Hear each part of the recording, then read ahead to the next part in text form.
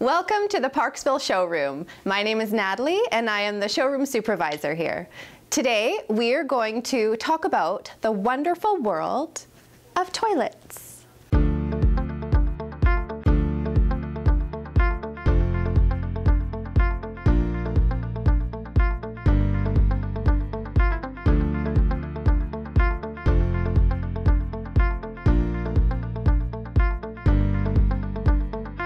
Shopping for a toilet can, believe it or not, actually be a little bit overwhelming. So I'm gonna give you a few tips to help you decide and what to look for when you are shopping for a toilet.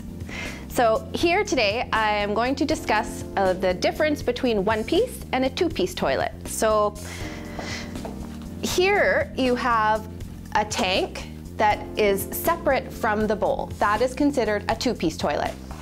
When you are shopping for a one-piece toilet, you are going to look for a seamless tank to bowl join, which uh, is beneficial so no fluids can get in between there. It's easy to clean. If you prefer a one-piece toilet, so you have that seamless tank to bowl join, you can expect to pay a little bit more money. If you would prefer to save those few extra bucks and just stick with the two-piece toilet, but you still are concerned about fluids getting up in there, look for the toilets that have a little bit of a raised back on the bowl. So this creates just that extra little bit of space so if fluids do happen to get up on there that it's going to be trapped here and not necessarily make it through the tank to bowl join. The next feature you are going to consider is whether you would like skirted or non-skirted.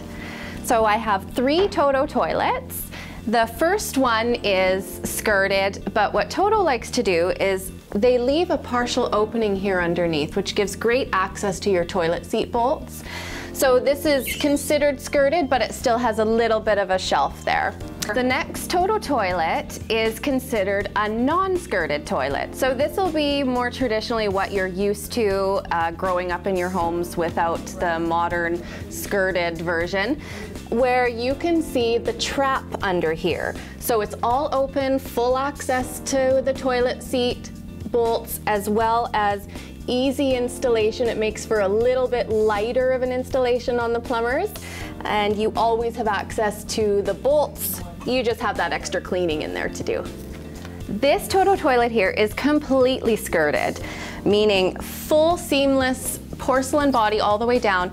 These skirted bowls will cost you, again, a little bit more money, but I tell you, for the investment you're gonna make, it'll save you in cleaning, and it's just so pretty, it really is. What Toto does on this toilet, they actually have an access panel. So again, you have always the access to the toilet seat bolts if you need to retighten or change the seat. The next feature to consider when purchasing a toilet is whether you would prefer dual flush or single flush. In front of me I have three toilets. This particular one is by Duravit and it features a three and a six liter button. Beside me here is the DXV Lyndon toilet and the interesting thing about this dual flush toilet is it features a 4.8 liter large flush and a 3 liter small flush. When you purchase a single flush toilet, you will be purchasing a 4.8 liter flush. So this one will be activated by one single lever on, either on the front of the toilet or on the side of the toilet. And if you haven't changed your toilet for years and years and years and years, you may be flushing 13 or more liters of water. Now that we have discussed one piece versus two piece, skirted versus non-skirted, and single flush versus dual flush, drop your comments below and let me know which configuration you prefer.